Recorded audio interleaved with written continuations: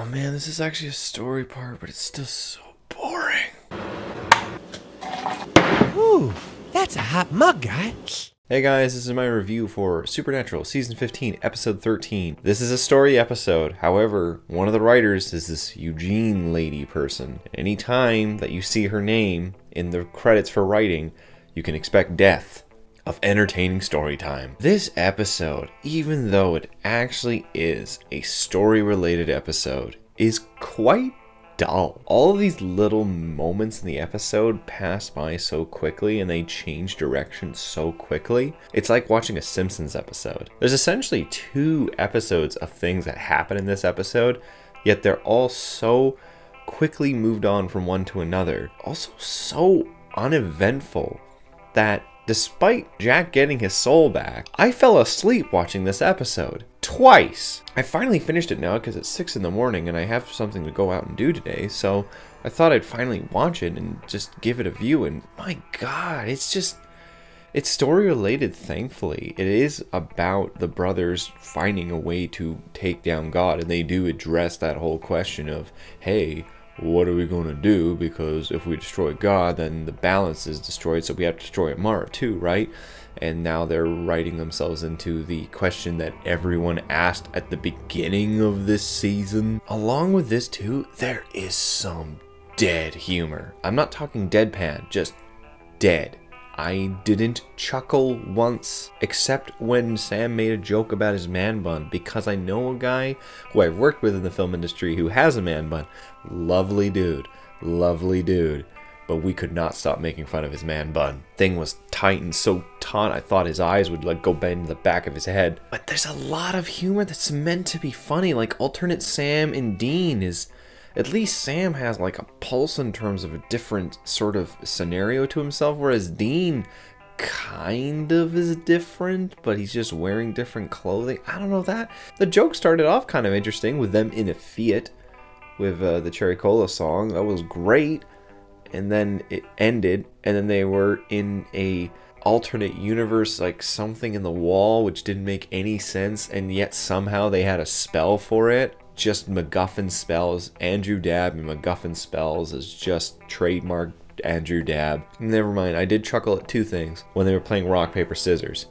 Except Dean won without Rock. So that definitely was an alternative universe Dean. Aside from that, I just thought there were some parts of this episode that were just kind of strange. Like when they went to the church and there's four of them four of them. Yet they think three is the necessary number to try and find the occultum thing while they let Sammy hold a door by himself.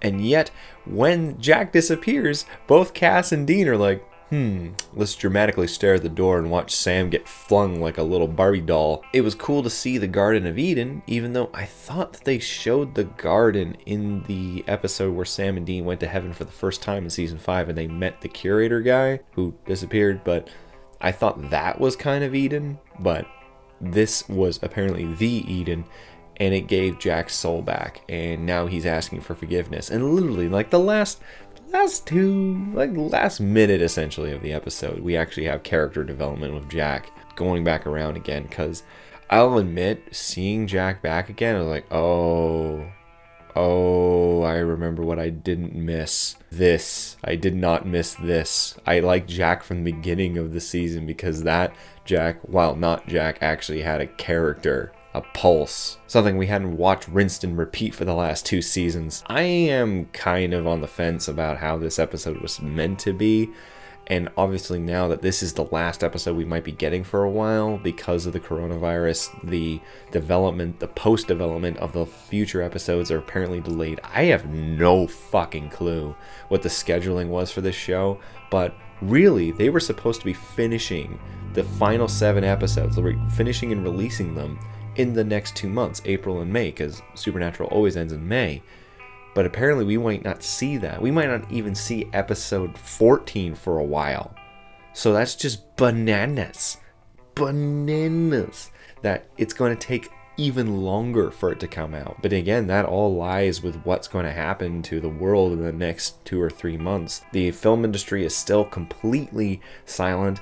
Over 500,000 people in Canada applied for EI alone last week, and a majority of those people are probably in the film industry because 125,000 jobs in Vancouver, film jobs in Vancouver, went like that last last Monday. Anyways, guys, I'm gonna give this episode a two out of seven. It's too bad because it's too boring. Anyways, that's all from me. Hope you guys enjoyed this review. If you did, leave a like, and if you're interested in more, maybe subscribe. Otherwise, see you guys next time.